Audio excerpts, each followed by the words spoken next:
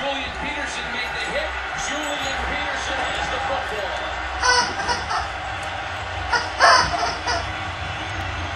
And right off the bat, we talked in the opener about how the offensive line passed play better.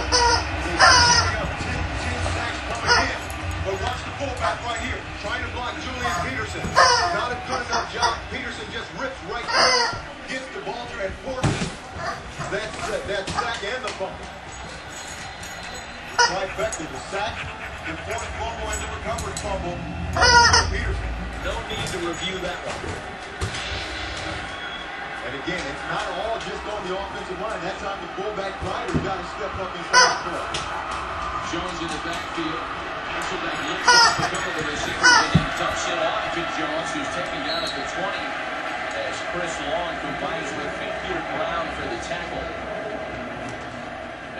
Four on first down for the Seahawks. You know, man, I talked about defensively. They talked about doing what they do best.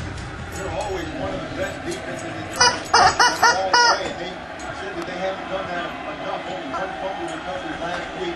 Like Greg Carroll for a touchdown. They won at least three. Second and six. And Jones is sitting without a gain as James Hall makes the play.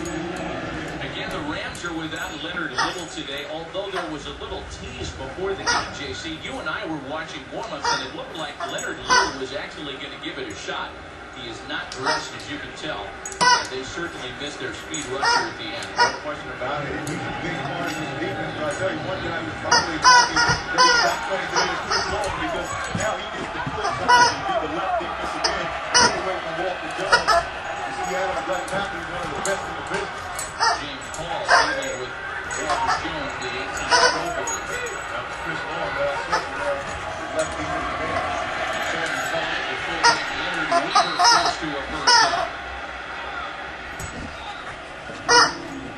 Weaver's had only a handful of carries in the first two weeks.